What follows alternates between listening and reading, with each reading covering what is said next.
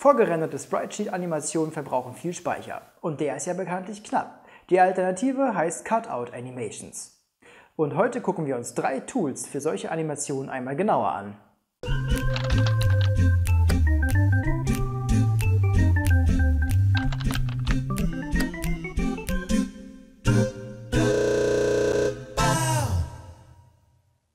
Hallo, mein Name ist Tom und ich programmiere ein Spiel.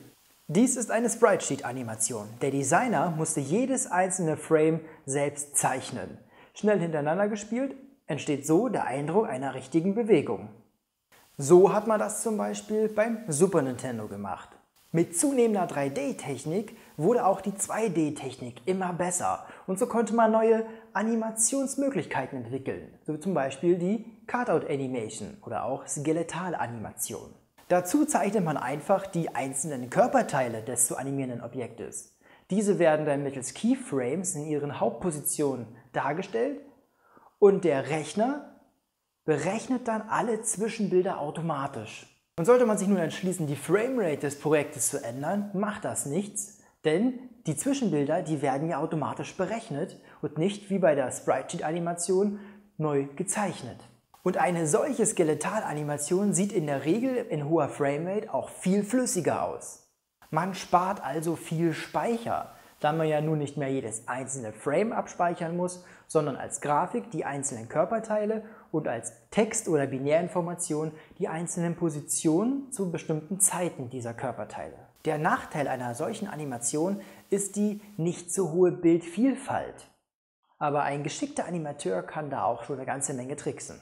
Aber womit erstellt man jetzt eigentlich solche Animationen? Dafür gibt es diverse Tools, die dir die Arbeit erleichtern und drei davon schauen wir uns heute mal ein bisschen näher an. Dragon Bones ist eine Erweiterung für Flash, also jetzt nicht dieser Flash Player, sondern dieses Flash Animationsvektorprogramm, welches dann Dateien erstellt, die im Flash Player angezeigt werden. Wer sich also schon mit Flash ein wenig auskennt, hat hier einen relativ leichten Einstieg. Trotzdem ist es schon ein bisschen ein Gefummele, um die Animation vernünftig hinzubekommen. Außerdem ist Dragon Bones komplett kostenlos. Nur für Flash muss man halt ein bisschen was berappen. Der Nachteil an Dragon Bones ist, dass man nicht wirklich viele Einstellungsmöglichkeiten hat und dass das Plugin zum Beispiel unter Mac ein bisschen verbuggt ist und es dadurch noch viel weniger Einstellungsmöglichkeiten gibt. Ein großer Vorteil hingegen ist allerdings, dass man seine Animation in diesem Flash-Vektor-Format exportieren kann und dadurch noch mehr an Größe einspart, obwohl die Grafiken ja beliebig skalierbar sind. Spine war ein Kickstarter-Projekt, welches sich wirklich großer Beliebtheit erfreute. Bei Spine handelt es sich um das vielseitigste und umfangreichste Animationstool, welches ich dir hier vorstelle. Doof ist nur, dass man in der Testversion weder speichern noch exportieren kann oder ähnliche Sachen.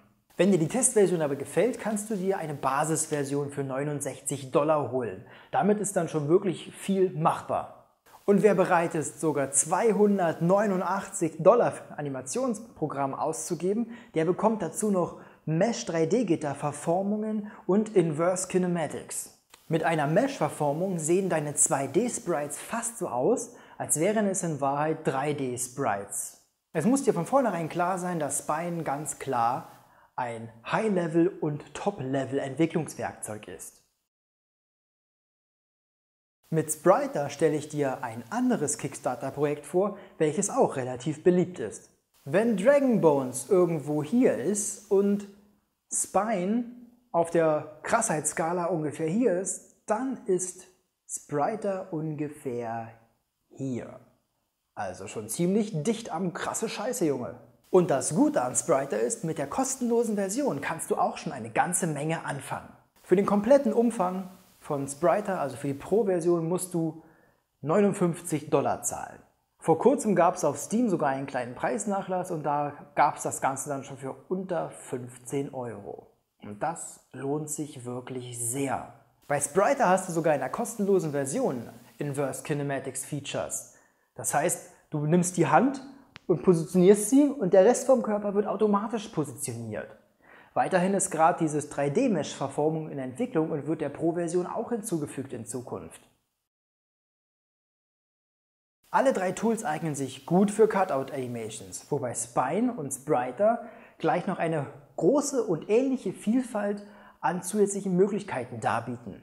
Aber wie sieht es denn jetzt am Ende mit der Performance aus? Die Frage ist, wenn ich von einer Animation 30 Instanzen abspiele, wie hoch ist dann die Framerate bei einer maximalen Framerate von 60 Frames per Second? Witzigerweise kackt Spine, unser Profi-Tool, hier ein bisschen ab. Wohingegen Spriter, also das Semi-Profi-Tool oder zumindest das Profi-Tool mit geringeren Kosten, hier die vollen 60 Bilder pro Sekunde schafft und selbst das komplett kostenlose Dragon Bones schafft immer noch einen passablen Mittelwert. Getestet wurde auf einem iPhone 4S. Auf dem Desktop schaffen alle drei Tools die volle Bandbreite von 60 Frames die Sekunde.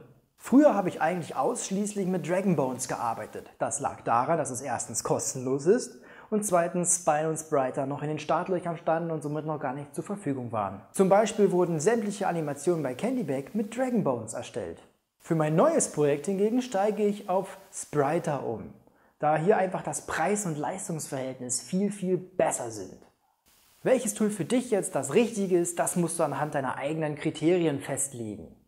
Wenn du zum Beispiel Unity-Nutzer bist, da gibt es ja bereits ein Animationstool, also kannst du eigentlich das verwenden. Trotzdem gibt es Möglichkeiten, wie du alle drei Tools auch in Unity verwenden kannst.